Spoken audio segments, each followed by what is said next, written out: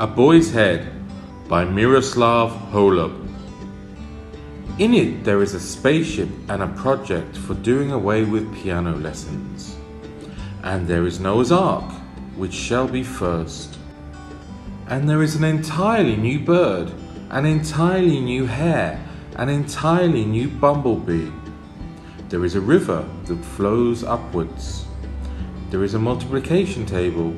There is antimatter and it just cannot be trimmed. I believe that only what cannot be trimmed is a head. There is much promise in the circumstance that so many people have heads.